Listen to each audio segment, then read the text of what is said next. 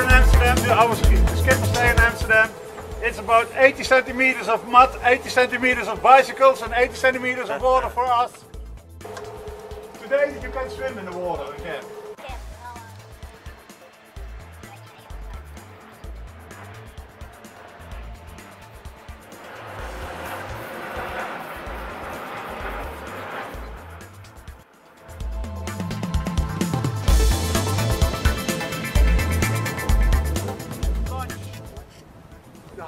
Behind it, the house with the six green doors, that's the Anne Frank house.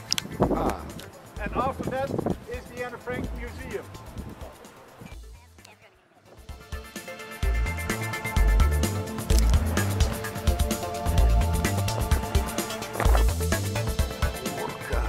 Probably faster than to the boat and uh, okay, boat Frank.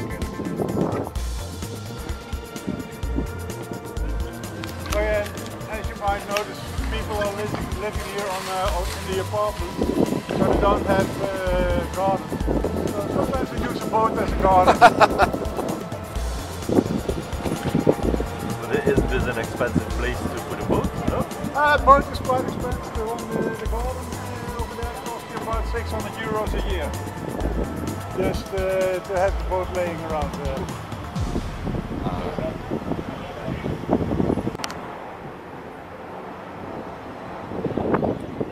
So mind the bridge, please. Yes.